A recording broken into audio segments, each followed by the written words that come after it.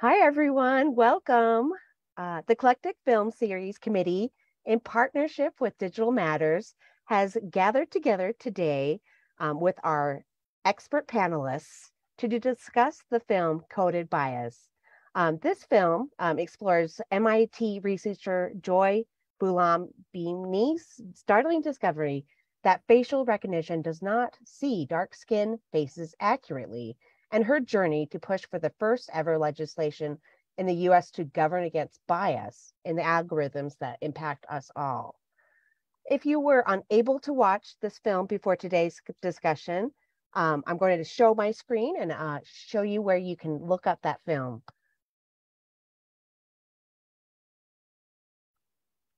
So if you go to lib.utah.edu, and then in that search bar there, search for coded bias, bias, bias, pardon.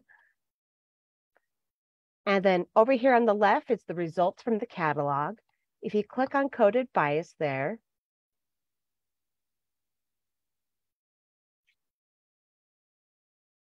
it shows that we, we do have a physical copy available, but we also have online access. So you can just click right there to watch the film. Um, if you're interested in this film and other films, if you go to the library webpage, there's a entry right there for databases. You can search by type, like videos, or you can do by subject. And so we're going to do film and media arts.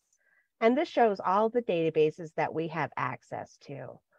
Um, one thing that's really popular is uh, Digitalia, um, Film on Demand, which is kind of like PBS things. And another one that's really popular is Swank. So we have a lot of databases and really kind of focuses on your um, what your preferences and what your interests are, but there are also some fun like cinematic ones that you can do as well. So thank you so much for letting me share those library resources, and I hope you take advantage of it. Um, let me uh, turn the time over to Rebecca Cummings. Um, she's going to be our facilitator for this discussion. Um, she's the interim director for Digital Matters. Rebecca? Great. Thank you so much, Angela. And thanks to the Eclectic Film Committee for partnering with Digital Matters to host this discussion of coded bias. I'm so excited for it today. Um, so we are fortunate to have some wonderful panelists to help us make sense of this incredibly like complicated and alarming documentary film for those of you who have who have watched it. Um, some of us were able to gather a couple weeks ago in the library and watch Coded Bias together. Um, I'm sure some of you have watched it on your own, maybe more than once. Um, and it's possible that some of you have not yet watched the film. And so I, I appreciate Angela showing us how to access that film, which is available in perpetual streaming through the Marriott Library. Um, but for those of you who haven't seen it, like Angela said, the film follows the work of Joy Buolamwini, who is an MIT researcher who stumbles across the fact that facial recognition software couldn't identify her face and couldn't identify darker faces and women's faces as readily as it was able to identify um, white male faces. And that was simply because of the training data sets that the technology had access to that taught the technology what a face actually is. Um, and then the film after that kind of takes us on a journey of how artificial intelligence and machine learning are increasingly becoming gatekeepers for a wide variety of issues. A lot of um, everything that might go from what communities are being surveilled to who has access to high quality health insurance or healthcare. Um, to who's being hired or considered for particular jobs. I mean, the the stretch of decisions being made in automated fashion was really um, concerning to me as we watched this video. So um, so I recently watched a different panel discussion about coded bias where Van Jones referred to the film as a four alarm fire. I thought that was a really accurate description of this film. He compared it to Al Gore's An Inconvenient Truth that came out, you know, 15 years or so and really really heightened awareness of climate change and what an issue that is for us. And that's what coded bias is doing for us in regards to um, artificial intelligence, the decisions it's making, um, surveillance, and a whole host of other issues. So that being said, I'm now going to introduce our panel who's going to help us wade through some of these complicated issues. Um, we are so fortunate today to have David Rowe, who is a professor of English at the University of Utah. We have Sarah Sinwell, who is an pro associate professor of film and media arts at the University of Utah. And we also have Trevor Smith, who's a recently graduated master's student in communication, whose final master's thesis was on critical approaches to generative artificial intelligence. Um, before we jump into the questions, I would just love to hear from our panel, maybe for a minute or two for each of you on what brought you to issues around artificial intelligence, machine learning, maybe the ethical implications of some of these technologies. So, uh, David, let's go ahead and start with you. Uh, yeah, thanks everybody. Uh, thanks for the invitation to participate in the panel. Um, so I've always been interested in um, the guardrails for technology. Uh, as much as I'm an advocate and have sort of uh, an optimistic streak about the potential for technology in all you know all facets of our lives. I'm I am also cautious and skeptical at times. Uh, I think there's just kind of undeserved, uh, sometimes um, wellspring of goodwill that we have towards technology without really understanding how it could go sideways in many ways uh, without the proper kind of regulatory oversight. Um, and so this film kind of dovetails with all those uh, sort of ethical concerns I've had for a long time. Yeah, that's great. And I, I am happy to hear that there is a streak of optimism in there because I'm not going to lie, leaving the film, I felt a little bit despondent. Um, Sarah, do you mind giving us a little introduction? So I saw this film at Sundance. Sundance did a special screening online of this, and then they had a online Q&A with the director. And I, I always jump at any opportunity to see a Q&A with the director of a film. So I, have actually seen this film multiple times, and I I would have seen anything that Sundance would present with regard to who who's coming afterwards to do a Q&A. But this particular film interested me because I'm interested in media technology and these kind of issues at larger issues.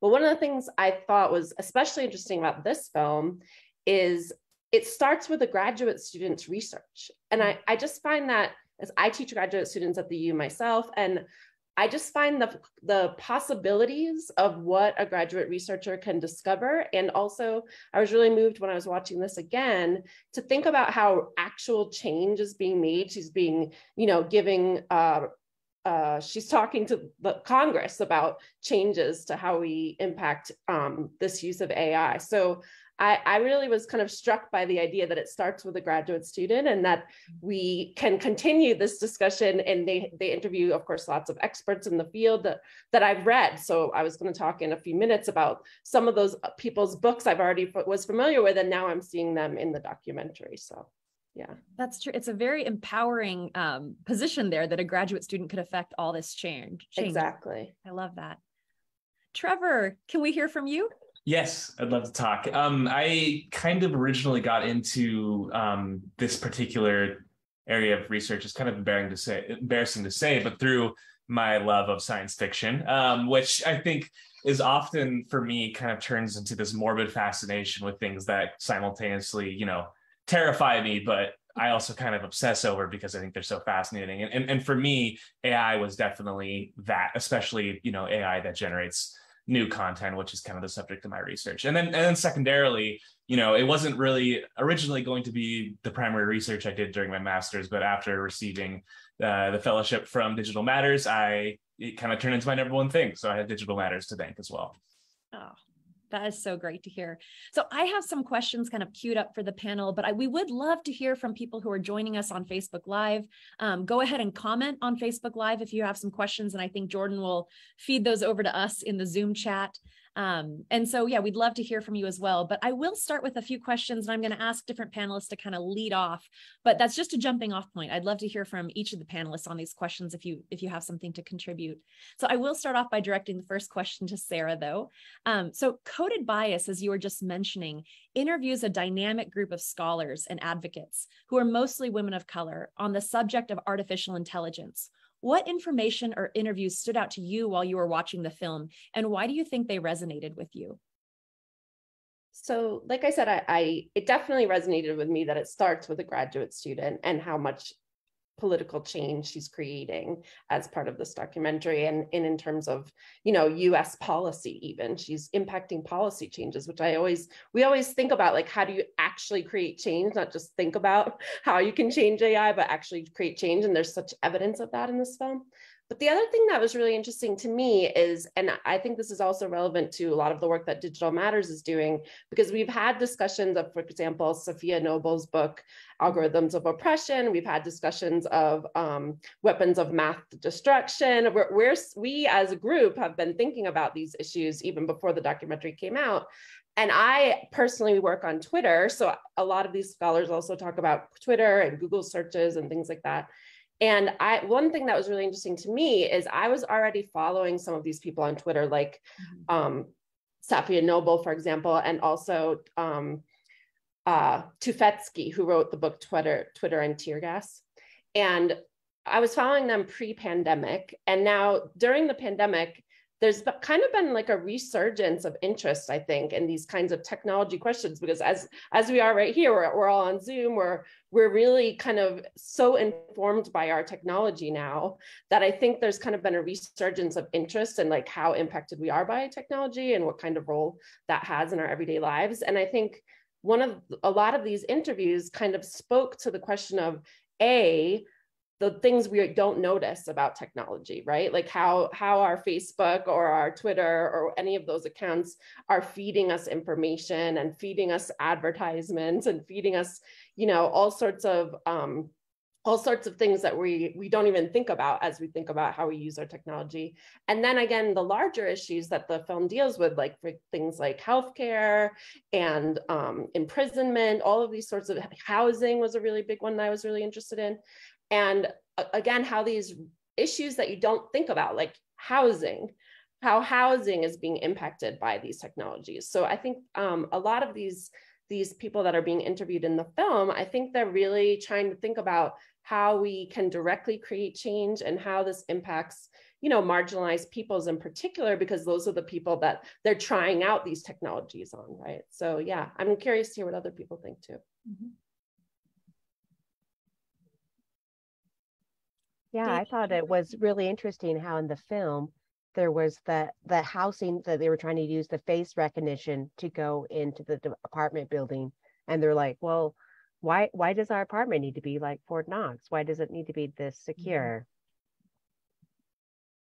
Yeah, I was so impressed with the range of expertise in the film. I mean, I felt like I could have curated like a reading list just off of everyone that was um, in the film. Um, another another person that was featured was Virginia Eubanks, who's also been you know featured in the Digital Matters New Media Studies reading group. We read her book uh, Automating Inequality, I think two years ago now. And I think that gave me a little bit more insight on some of the training data sets that, you know, because uh, the film, you know, it's 90 minutes, so it's only able to touch on some of these issues, which is why it's great to dig in a little deeper with all you. Okay, David, Trevor, I could jump to the next question, or did you have anything to add here? All right, great. So, um, Trevor, I'm going to direct this next question to you. So, you know, um, Sarah just mentioned like with AI, we're all sort of aware how it like generates our advertisements and stuff, and some of the maybe the news feeds that we see on the internet. But I was really struck when watching Coded Bias by how embedded artificial intelligence has become in our daily lives and the, the degree to which it affects really important decisions, you know, such as like how long someone's prison sentence might be, or like what healthcare is available to them. Is there a particular aspect of artificial intelligence that like keeps you up at night? I'm like, what about this technology do you find the most concerning? Because it's probably not what advertisements we're seeing on Facebook. Right. I, I think you know in, in this this film mentioned it too, but a lot of my research is also centered around AI that learns as it works, right? And perpetually uses kinds of tests to see how close it is getting to actual human decision making. So I think the thing that that scares me the most is when is the the idea that these AI could already be, be getting good enough to pass a Turing test, right? Or to be indiscernible from human decision making.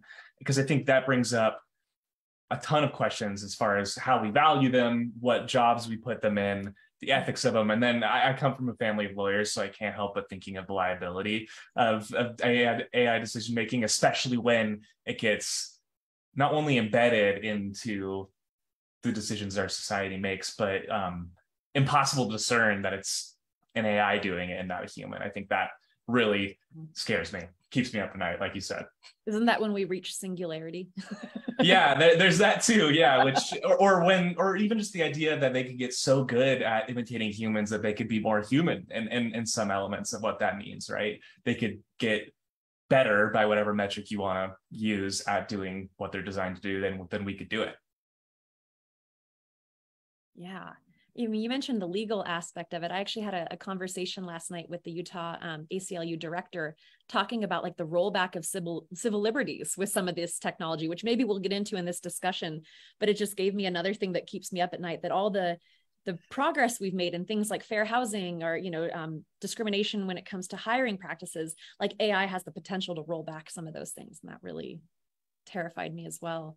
Hey, Trevor, you mentioned that uh, you come from a family of uh, legal scholars and lawyers, and so I was wondering about this with respect to uh, AI. Like, where does the liability lie, right? Because if you have a company that produces or uses an AI for the, some of the decision-making process, they actually have kind of a legal and financial investment in defending the AI as perfect, right? Right. And if it makes a mistake, uh, they go, it doesn't it doesn't serve them to say, oh yeah, we messed up or there's some mistake here, right? And so it's it's, a, it's a weird kind of tension where the AI is supposedly kind of they're offloading a lot of decision making onto the AI, yeah. uh, but um, at the same time, like there uh, there's an investment into just like uh, saying that you know it's it's the perfect sort of intermediary and it's flawless and if you come at us with an accusation that's wrong then we're going to defend it to the death because it's all part of our workflow and processes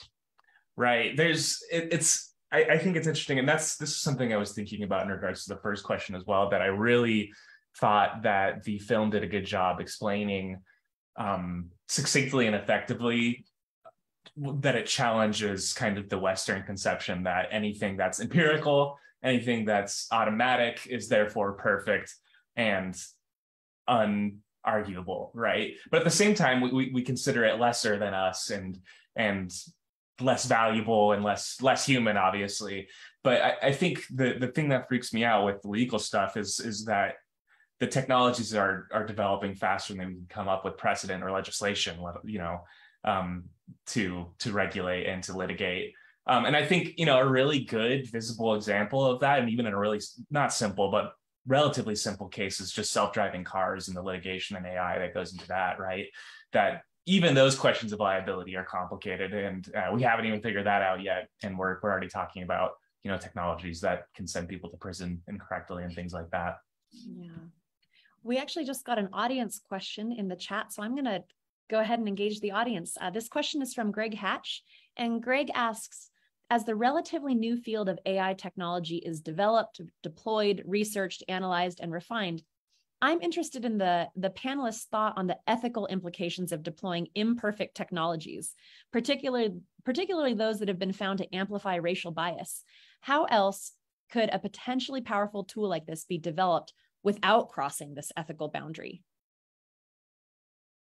I actually have some thoughts about that uh, as everyone's been talking. I, I was really struck rewatching the film about the corporatization of AI, mm-hmm. how like the tools that they're using are made by Amazon or Google or mm-hmm. Facebook.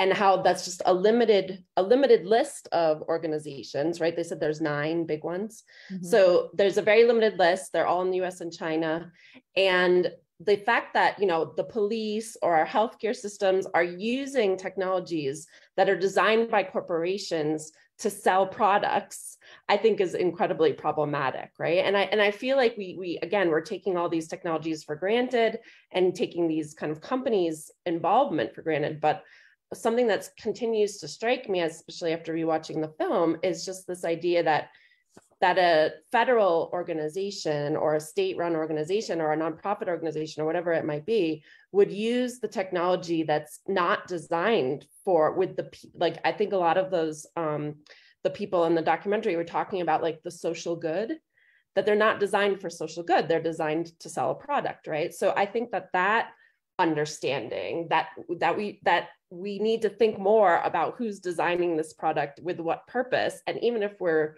reusing that product like mm-hmm. what what kind of what does whose interest does that serve? And i think that question of like why marginalized communities are so greatly impacted by these technologies as part of that conversation. And I'm not sure that's the conversation happening at Facebook or Google or Amazon, right? Right.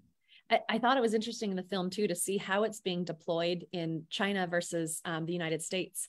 You know that um, you know that that China it is more of like a, a, government you know deployed and researched operation, and here it's more commercial based. Um, I just thought that it was fascinating in real time. We can kind of see these two case studies and the various issues with both. It doesn't seem like either one is like um, certainly optimizing privacy or personal liberties or anything like that. Yeah, I, I think I one answer. Oh, sorry, really quick. Uh, I think often the the wrong answer to this question I would say is Facebook's internal motto of move fast and break things. I think we can all agree that's like the wrong attitude, right? With developing, but that still sometimes feels like that's what's happening. I mean, Rebecca, you've read my my paper, and it's it's shocking that you know even in the time it's taken me to graduate four months ago. There's new case studies that I'm like, oh, I really should have talked about that. Maybe I have to rewrite my whole paper. But that's just just to reflect like the speed of, of the development, I think is is also just really shocking and concerning, especially it just doesn't feel like something could happen so fast with appropriate ethical considerations in place. Mm-hmm. It's true. Yeah. I think guardrails was the good term you used earlier. We need some of those to make sure that we're doing this in a way that, you know, retain some of the things that we value in a democratic society. So I see uh, another. Uh, actually, I actually wanted to. Oh, to, sure. to add to that, if you don't sure. mind. Um, so this is actually not a new dynamic at all. Employing, deploying technologies that are an extension of existing corporate or state power that uh, har- that negatively harms Black and Brown communities. So mm-hmm. think about, you know, the infrastructure building of the interstate highway system. There's no accident that a lot of the highways just cut through black and brown communities and divided those communities and brought a lot of destruction. And we hopefully learn from that process. And now when we have these huge governmental works projects or uh, infrastructure building projects, we have a whole system in place where those communities can give feedback and make sure that they are represented, uh, so that when we do build out these things, that the you know all the all of the interests are uh, able to communicate. But with AI right now, because there aren't any guardrails or formal regulations, there's no feedback mechanism, right? We just have to rely on the goodwill of Amazon or Facebook or whoever to take those considerations into account. They have no responsibility to do so. They have no legal responsibility to do so some, right mm-hmm. now. And so uh, we need uh, sort of an intervention or so that that mechanism is in place for those interests to be represented. Yeah. So we have one audience question, but I'm going to jump to one other question on mine and then go back to the audience question. And David, um, since we're going down this path, I'm going to direct this one to you. Okay. So In Coded Bias, uh, Joy Buolamwini shows how the biases and inaccuracies in artificial intelligence can cause all kinds of problems, such as wrongfully accusing people of crimes, which there's a great example of that in the film where a 14 year old was accused. And I mean, that I think the statistics are like 85% that you know that people are wrongfully identified um, but it's also possible to imagine a future where facial recognition technology improves dramatically and is nearly perfect at identifying faces. But there might be significant concerns there as well. So I believe someone in the film referred to this potential future as optimizing oppression. Can you speak to the concerns surrounding surveillance and civil liberties in a world of perfect facial recognition? Uh, yeah, I mean that that's I mean, that, that kind of dovetails into what we were just talking about. How if that technology, and I do, I'm actually skeptical about this idea about perfect facial recognition. but if hypothetically it came to be, uh, we would need some kind of legal framework for uh, making sure that power isn't abused, right, by the state or by criminal interests, by whoever, whoever has uh, hand, their hands on the technology. Um, and this it, this is actually part of a larger discussion that has preceded AI and the rise of AI. I mean, even when CCTVs are starting to crop up all over England, there was a discussion about surveillance and how uh, penetrating and uh, invasive it all is. With AI on top of all that, it could become even more powerful, more robust, right? Mm-hmm. And that uh, goes to this larger argument that has been um, in legal circles about how you know you'll hear from the other side like the cia whoever will say if you got nothing to hide why does this bother you? Right? If you're a good citizen, why why do you why do you care if we have your your face your face in our database right but that that's really flips the that's a really a perversion of our principle of the right to be left alone at least here in the united states mm-hmm. right it is not up to me to prove that i'm you know an upstanding citizen it's up to you to prove that i am worthy of surveillance right but if everyone is being surveilled that changes your behavior, regardless of whether you're a criminal or just a normal person walking around the street. If you are aware that every single interaction that you have in public or even private is being recorded or surveilled, then you start to kind of second guess yourself, right? You you you act like you are being surveilled, right? Mm-hmm. And with AI, there is no private space anymore. What are you doing on your computer? You know, what are you doing at home? You know, that can penetrate uh, those those you know conventional physical barriers, right? And so that's, there's an erosion of privacy that goes beyond what you know the framers of the Constitution ever imagined, right? Mm-hmm. And so, what are the legal frameworks that we have in place, or can we put in place to kind of build those rights back outward? Mm-hmm.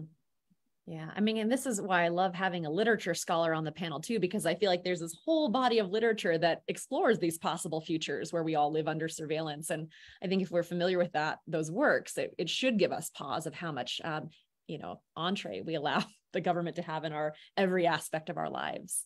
Um, okay thank you david. Um, let's see. So we have again we have it's so great to have all this audience participation. Um, i'm going to jump back to an audience question and then maybe we'll go back to one of mine. Um, so eliana massey who's one of our current digital matters interns asks um, and you can tell she's a philosophy major here. Do you think crowdsourcing sh- uh, should be used for on- ontology engineering in artificial intelligence?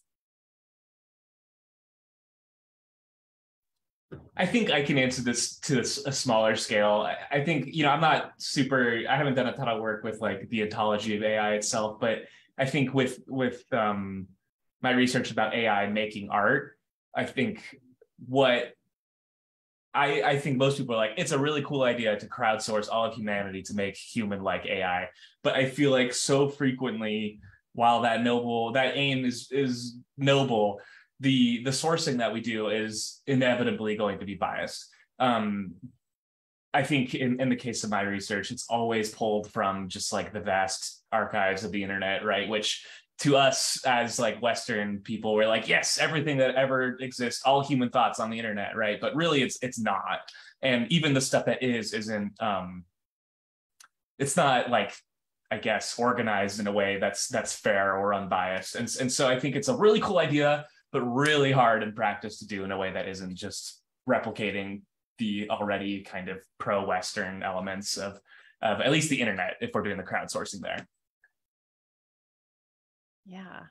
Yeah, that, I, I can speak to that a little bit um, because um, I think what the question is driving at is what is sort of the way forward where AI can be built ethically. And that speaks to the problem of the black box, right? A lot of AI technology, machine learning algorithms are proprietary. And so we don't know actually how it works, except for the companies and the engineers at whichever company had built them out. And so by opening up and making open source and having the entire community be able to read and understand how they work, then they can see the flaws, the gaps, and that will force the companies or whoever wants to contribute to it, an amateur working in their spare time, to be able to uh, make it more robust or uh, you know fill those holes again. But that that should go toward to larger, you know, justice oriented uh, principles. But that's a kind of a different discussion. Mm-hmm.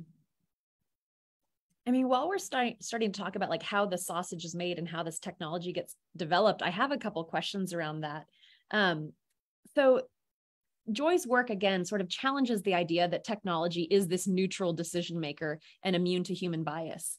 Can can someone talk and this is to anyone on the panel who feels comfortable addressing this, but can you talk about how human bias gets embedded in code and what steps if any we can take to mitigate that bias?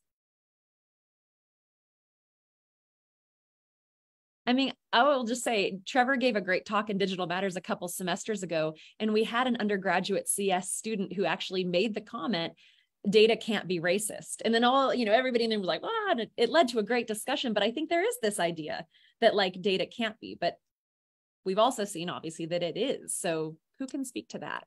Yeah, I think just really quick again, I, I think that um, the idea of, of the positive impact of representation in media has has been challenged recently as as maybe not as effective or as important as as we we previously thought as critical scholars. But I think that uh, Safiya Noble, especially in, in algorithms of oppression, makes a really good case for why representation is important in developing code.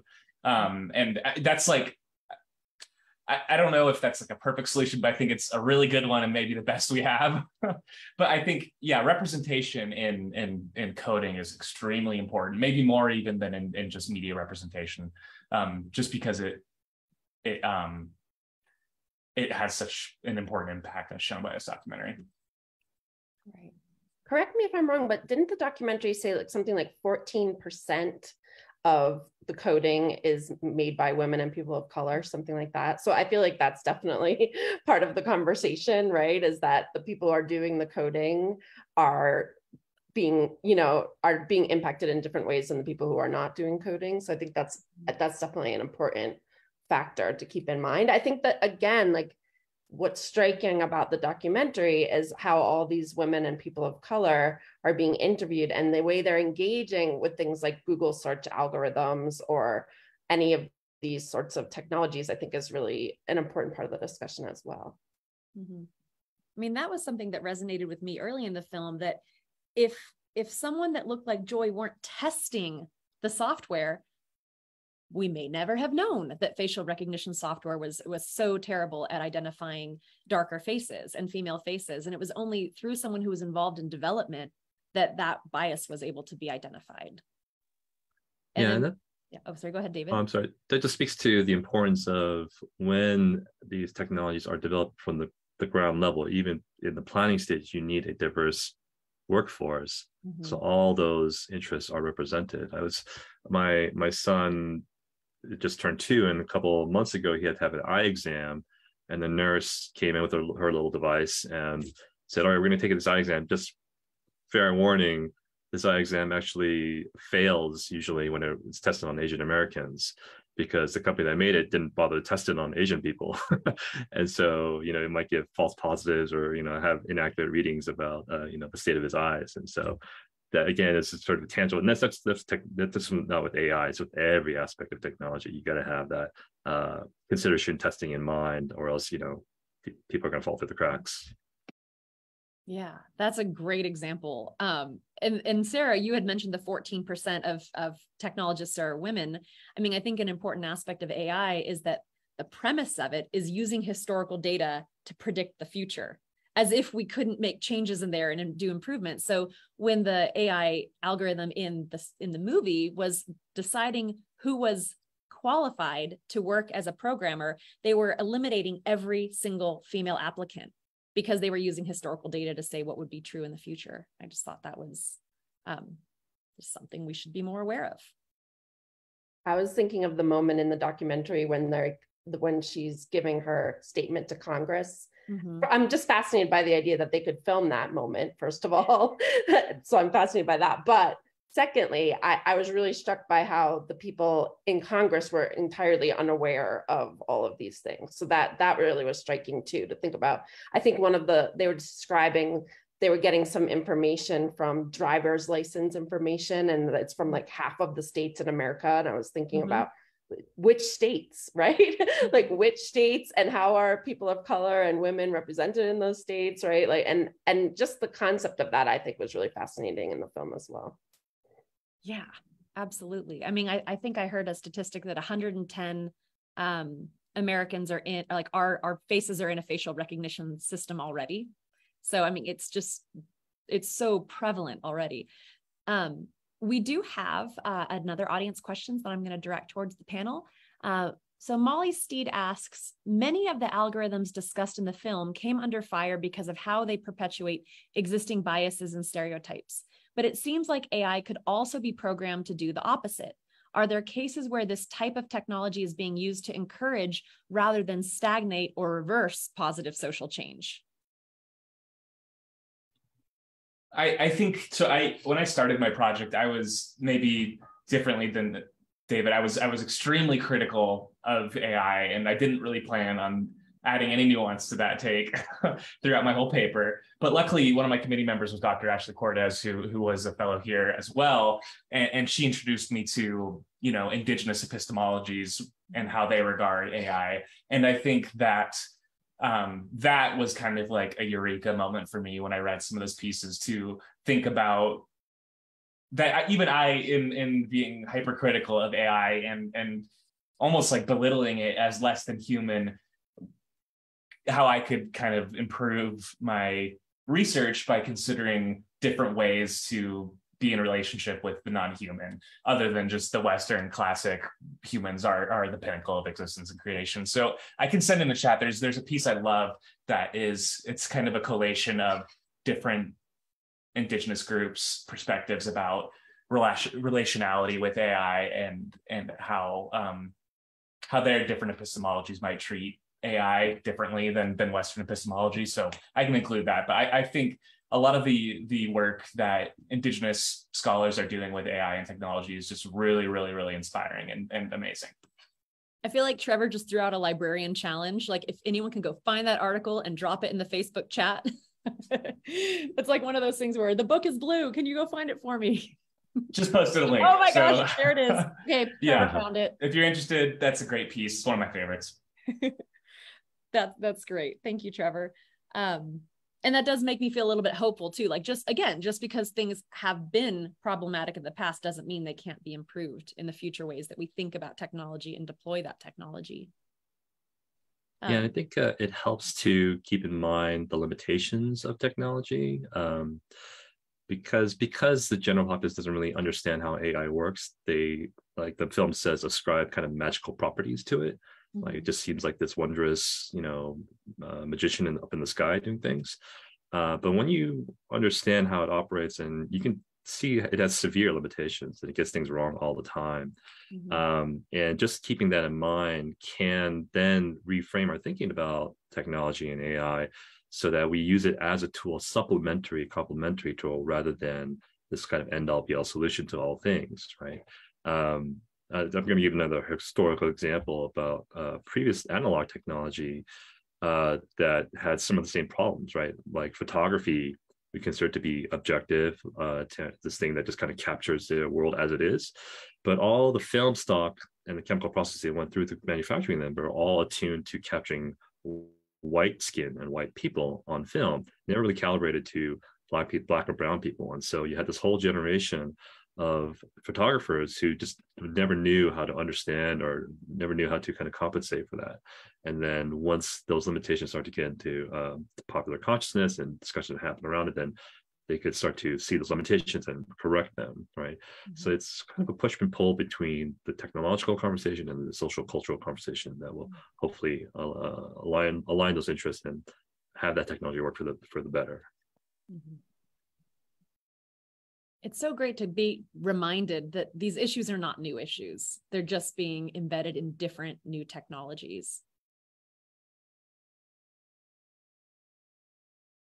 Okay, which this has been sort of touched on, but I'm hoping we can go a little deeper with this because I think this is going to be one of the big, um, you know, a pushback someone might give with the film so, or, or pushback to surveillance in general. So it's not difficult to imagine a person who learns about artificial intelligence and facial recognition technology and is like, well, I don't have anything to hide. So I don't have a problem with my face being in a database if it helps law enforcement, for example, catch more bad guys. Um, and maybe it makes the world a little bit safer. How would our panel respond to that? If you were talking to that person, what would you say to them?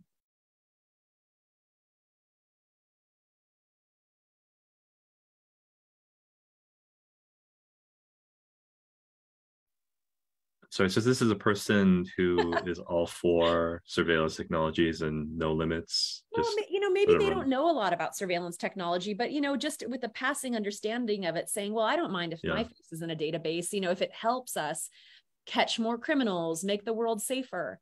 Sure. I can give you an example. yeah sure. um so i i'll i'll shut up. I'll just through a quick example. But there was recently a case uh where a father um, I'm a father, so it scares the crap out of me, uh, who had a son uh, had come down with some kind of illness, and um, the he was corresponding with his doctor over you know MyChart or whatever, and the doctor said okay, and he said, oh, my son's penis is really like inflamed, and the doctor said, okay, well send us pictures of of that area, and uh, you know we'll take a look at it and correspond. And so he did and uh, he was using he had google photos on his phone and it automatically uploaded to his google photos uh, archive. And google's algorithms flagged him as a pedophile and said oh you're you're human trafficking you're a pedophile. And so they shut down all of his accounts. He couldn't access any of his work accounts or his home accounts. He's completely you know separated from his digital life.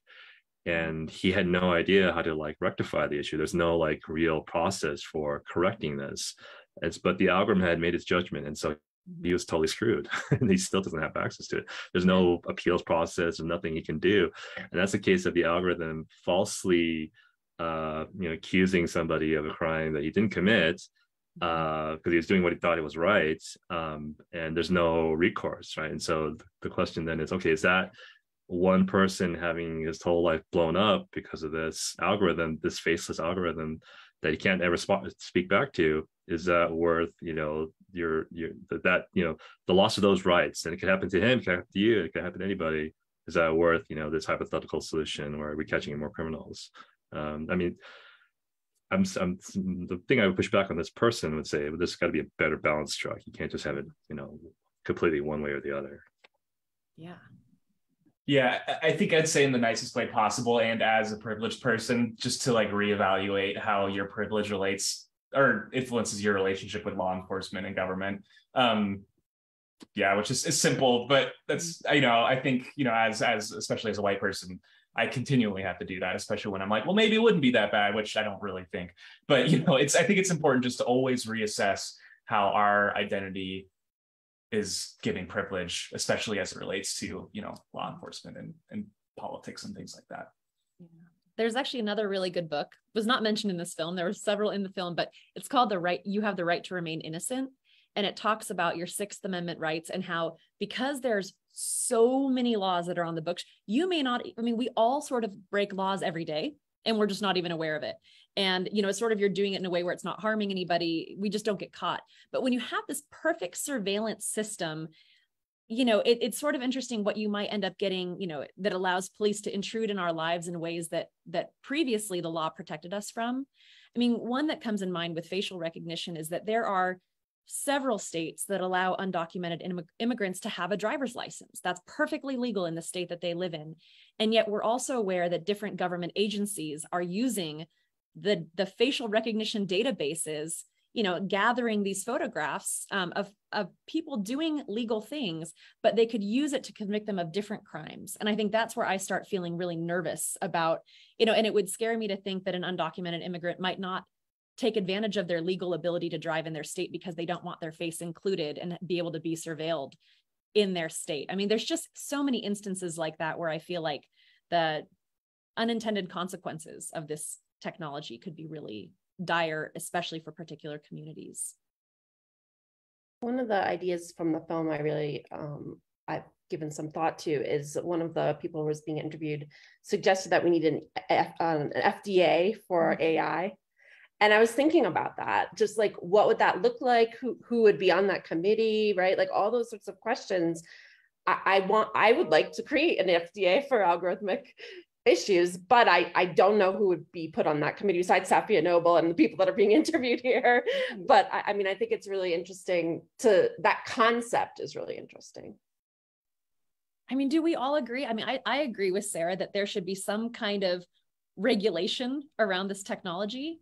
Does anyone have an idea of what that might look like or who might be informing that? Because I look at our our, you know, a lot of our decision makers and our Congress, and I don't know if they have like deep knowledge of technology or the ethical implications of technology. So what would what would an FDA for algorithms look like? I mean, I feel like the precedent for media technologies is frequently self-regulation, which isn't a perfect solution, but you know, I think like with film, that's been a solution, especially that might help with um, issues of that uh, Rebecca mentioned of, of just not knowing, you know, what an AI is and, and what it's doing if you're, you know, 78 or whatever. But um, I think, yeah, I think self-regulation could be an answer, especially since you know it'd be asking the people who are in power and have the funds uh, to do it themselves, as opposed to, I don't know. Uh, that that's just an option. I don't really feel very strongly about it now that it comes out of my mouth, but I think that is a possibility.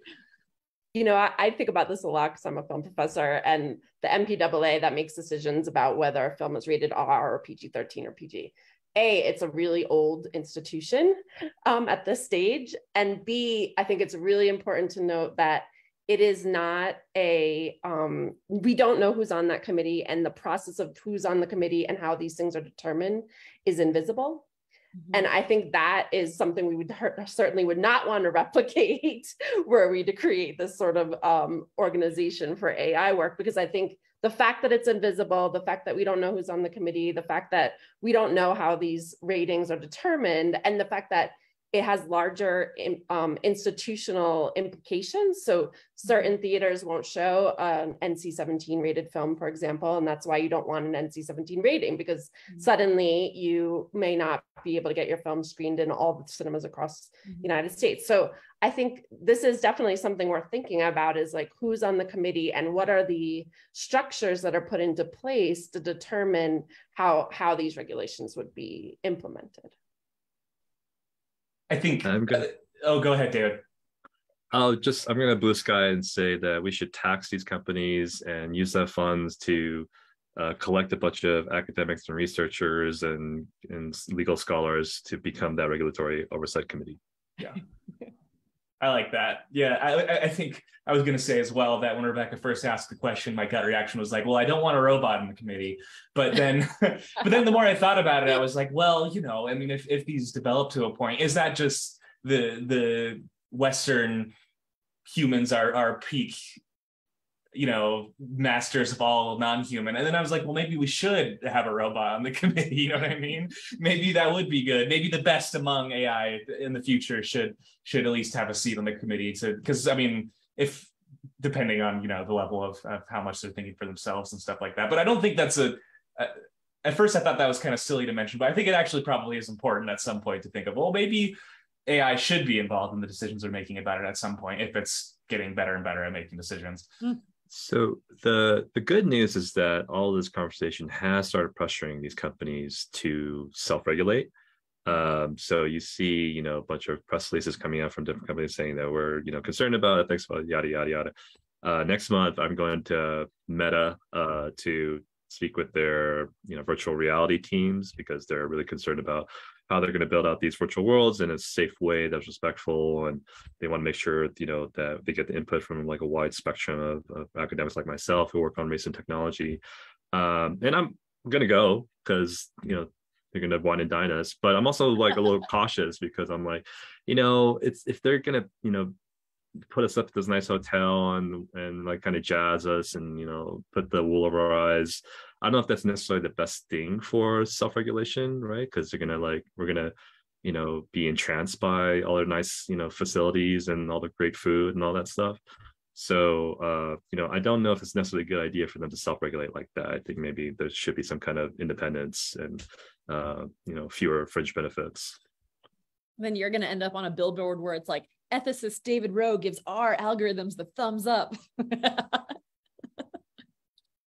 I mean, I was planning on saving this question for last, but I feel like we could talk about this for a little bit because, I mean, full transparency, I actually tried to get researchers from the University of Utah who work in, like, who develop artificial intelligence to be on the panel. I was unable to get anyone.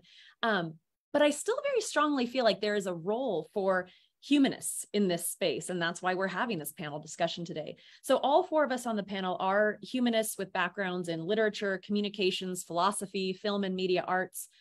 And so my question for the panel, and David, you know, kind of started leading us down this path, but what role do you see for humanists in the development of technology and specifically artificial intelligence? I think um, I was, and I think Rebecca and David were there at my my talk in, in fall. To it was I was really intimidated because I, I had had to get into a lot of really techie computer science definitions to to kind of work on the the conceptualization I was going with. And then when I was presenting it to this, you know, classroom full of like CS students, I was really worried they're going to be like, oh, that's so wrong. Like the way you've defined this and that is like not correct at all. And then so, you know, I give them kind of my conceptualization of what an algorithm is, what an artificial intelligence is, and, and so on and so forth. They're like, yeah, that's great. Or, you know, that's we haven't really thought about. And I'm like, really? You haven't thought about like how to define these categories of of um, of different technologies and, and how we can label them. And I think that you know that kind of conceptual work and that kind of definitional work is not only really important, but also something that um, humanists excel at. And I'm not saying that CS students or CS scholars don't, but I I personally love that work, so I'm I'm happy to do that part of it for them.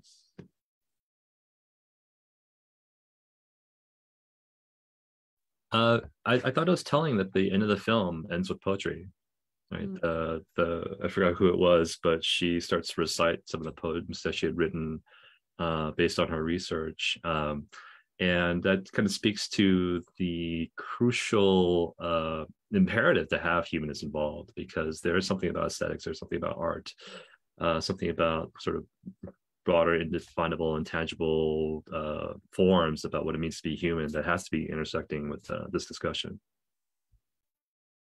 Yeah, that was Joy's poem. Yeah, that was Um, Yeah. I, and I also was struck rewatching it this time by that song at the end about coding. I thought it was like fascinating. Like, what kind of art can we, can we create about coding? It's really interesting. Um, but yeah, I was also struck.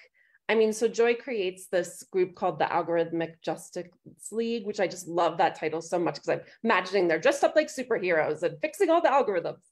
Um, I I think this idea of algorithmic bias is something again that humanists also are thinking about. So I think like again, like just the fact that Joy happened to be the person that was using that software and that's why she made all these discoveries. I think that again, this question of inclusion and EDI work that's being done in relationship, I think like there's so much work being done in relationship to coding with regard to that now. I think like taking those things into account is really important. Mhm. And we are starting to see some of these jobs emerge. I mean, I think we have um, um, Yamna, who was one of our ACLS fellows a couple um, semesters ago, has been hired by Twitter to be, I believe, like an ethicist for Twitter. Um, for those of you who've seen like the social dilemma, Tristan Harris was like a Google ethicist. I am curious how much of these positions are um, you know that the the big companies are using as window dressing to like cover their multitude of sins and how much is it really incorporated into the development of the technologies and influencing the development of the technologies? And i don't know if anyone on the panel can speak to that but i'm curious if you have any thoughts on that.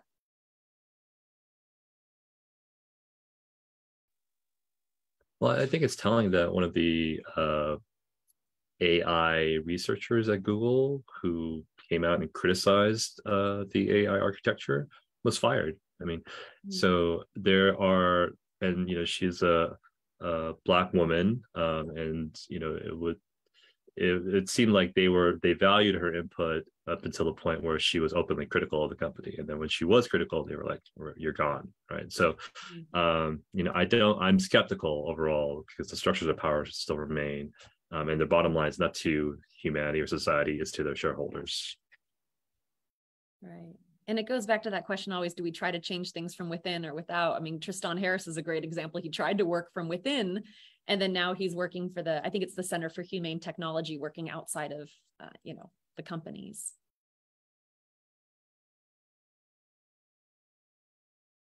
so do we have any more questions from the audience i saw a, a comment from tj which made me laugh after um, trevor was talking about you know, a robot having a seat at the table tj said do we need an ai to regulate influence of ai on society Maybe. I think, yeah, I think if, if we're talking about robot rights, I feel like there's a case to be made about that. You know what I mean? Uh, maybe not yet, but one day.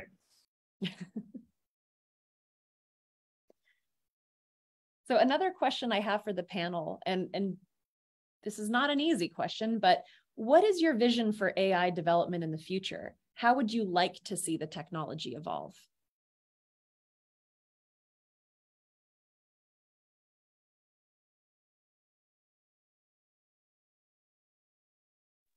Uh, that's a tough question, but a couple things. One, I think we've kind of talked about this, is we need some kind of overarching regulatory framework outside of private industry. Second, we need to have that maybe that regulatory framework or some other entity be able to look at the code um, and see how they operate. And um, if they, you know, if want to protect business interests, I understand, but they need to have some kind of um, ability for someone to take a look at the code outside of the company itself because then there's an independence there. Um, and third, then it's got to be some kind of feedback mechanism for people who are on the wrong end of AI to be able to talk back. Mm-hmm. I think for me, since most of my research is in reference to you know creative projects used with AI, I think the ones that make me the most excited and least scared are the ones that um, are are collaborations between human and non-human, you know, human and AI and creative endeavors. I think Eric Handman, you know, former fellow of uh, of DM, I think his work with technology and creativity is, is a great example of that. And I think that just through collaboration, guardrails are are already somewhat in place, and uh, and it's it's at a smaller scale that's I think more easy to control and more compelling creatively at least.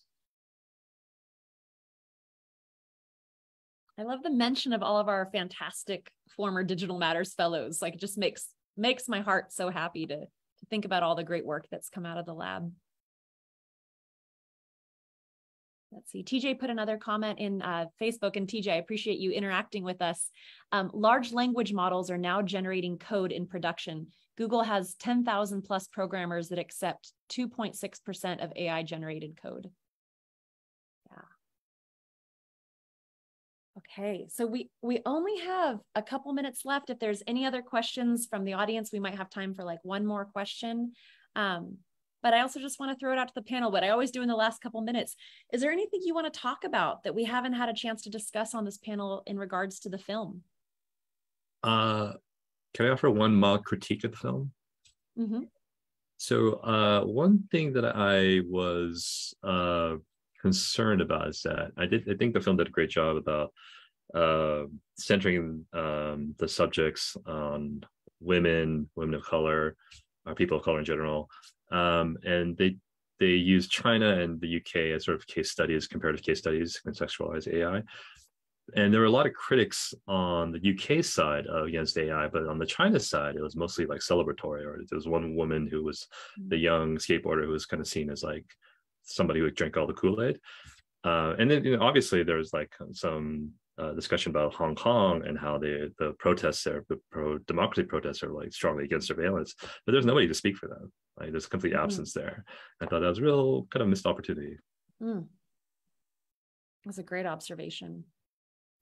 Yeah, I always really appreciate, and TJ brought this up a little bit instead of David. I love the discussion of labor and, and workers involved with it as it relates to AI because I think, um, you know, historically we've thought that labor saving devices would create like a workers' utopia, and that hasn't really been the case. So I think, you know, before we get to that point, before we just start outsourcing everything to AI, we, we really need to talk about what it can do to workers and, and, and poor people especially. And I think that I would have liked to see that a little bit more in the documentary but that's just kind of one thing I'm interested in.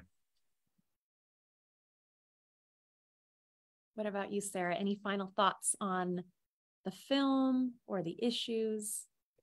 Yeah, I mean, I bet I have never had a chance to teach coded bias, but I think about teaching it as you can imagine. And I feel like it's, I re- I'd be really interested to show it in a classroom because I'd be really curious to see how people responded. And one of the things I would ask about is like, were you familiar with these issues before you saw the doc or or are these things totally new to people like that's what i'm not sure you know she's made another film about tiktok called tiktok don't confuse it with tick tick boom which is also a great film Tick Tock boom which was at sundance i believe last year um so she so this director is like making a name for herself by critiquing all of our technologies which i think is really interesting but I'm curious if people were already familiar with these issues and it just brings them to the fore, or are they totally new to people? And I, I don't know the answer to that. I don't know if you all know. Yeah. Yeah, I would also be curious how your students would respond because I found that, you know, different generations hold their privacy um, closer or less close, you know, and I find that um, like Gen Z, for example, they've really never lived in a world where there's that much privacy. You know, in the library world, we're so protective of our patrons' privacy. We don't keep records on what people check out. And it's funny how the next generation that almost feels like outdated of like, well, I you could make, you know, recommendations to me if you if you knew what I'd checked out previously. So I, I would be curious what your students would say in regards to the privacy and surveillance aspect of the film, as opposed to my intuition about it. So I think, yes, we have hit our one o'clock hour. I so appreciate our panelists engaging in this rich discussion. Um, thank you again to Eclectic Film uh, Committee for allowing us to, you know, to to highlight one of the films available in streaming in the Marriott Library. Um, I just appreciate you all being here. And I hope that this con conversation continues and that humanists continue to be engaged with issues of technology and artificial intelligence. Thank you all for joining us.